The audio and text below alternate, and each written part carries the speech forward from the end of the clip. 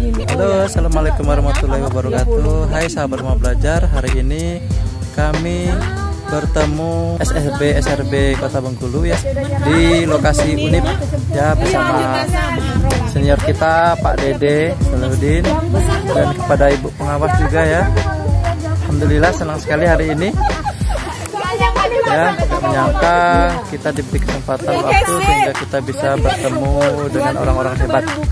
Ya. salam rumah